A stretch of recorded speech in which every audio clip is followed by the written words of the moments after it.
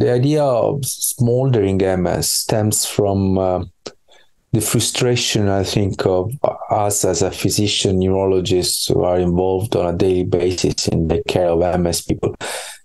uh, in seeing these patients uh, getting worse despite uh, achieving a successful suppression of relapses and MRI with our widely available treatment. It is quite a common clinical scenario. We we manage we use these very potent drugs and we are successful in avoiding these people to experiencing new activity on the MRI, new relapses. But yet, it's not uncommon that when they attend clinic, patients report that they are getting worse somehow. And the worsening is not the dramatic uh, symptoms related to a relapse, is is not accompanied by any radiological progression, but yet is a subtle worsening, which often implies like uh, increasing fatigue or very subtle weakness in one of the legs that is more um, more noticeable after long walks or after run or even like a, simply a worsening of their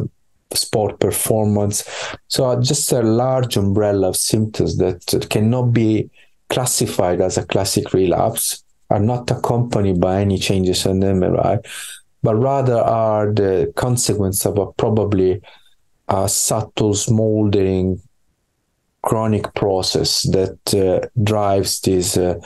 gradual deterioration unrelated to relapses, which is in a way it already emerged as a sort of PIRA, progression independent of relapsing activity, but PIRA is only one side of the coin. I think what we were trying to promote is to to an idea of a much larger umbrella of symptom that goes beyond PIRA itself. PIRA is certainly one part of the smoldering process, but not necessarily the only things. And we, we try to emphasize the fact that we need clarity in defining smoldering MS, MS, what are the symptoms related to smoldering MS, what are the biomarker, what could be the clinical outcome that help to identify changes related to smoldering MS, what could be the pathological substrate for smoldering MS. And in order to achieve clarity, we we've been meeting on a regular basis for the past two years, a group of 15 MS experts to discuss all these aspects to reach an agreement. We use a methodology which is called Delphi methods, which allows people to agree to rate their agreement in terms of statement that are proposed, covering the all wide aspect of of smoldering MS. So we we get into the final stage of this very long and tiring project process